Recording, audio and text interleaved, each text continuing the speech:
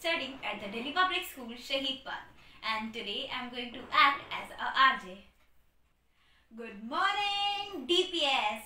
मैं हूँ आपके साथ आरजे सानवी, अपने रेडियो स्टेशन 92.8 मॉर्निंग मसाला में और आज मैं आपके लिए लेके आई हूँ एक बहुत ही बेहतरीन टॉक शो जिसका टॉपिक होने वाला है हेल्थ तो चलिए स्टार्ट करते हैं हेल्थ जैसे कि हम सबको पता है मतलब होता है सेहत, आपका आप कितने वेलबीन है, आपकी क्या दशा है, आप कैसे हैं?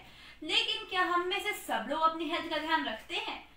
नहीं, क्योंकि जैसे कि हमें पता है कि 2020 में जो कोरोना का कहर इतना ज़्यादा था, जब लोग इतने प्रिकॉशंस लेते थे तब लगता था कि हाँ लोग अपनी हेल्थ का ध्यान रखते हैं। लेकिन अब लगता है कि लोग अपनी हेल्थ का ध्यान रख ही नहीं रहे हैं।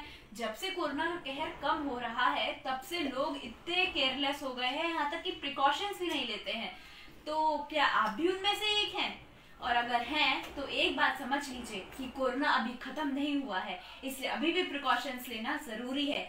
ये सिर्फ़ कोविड के नहीं है। आप अपनी हेल्थ का ध्यान रखिए और हमेशा फिट रहिए और हेल्दी रहिए और बने रहिए हमारे साथ, हमारे रेडियो स्टेशन 92.8 पे। मैं लौटूँगी एक एड के बाद। Bye bye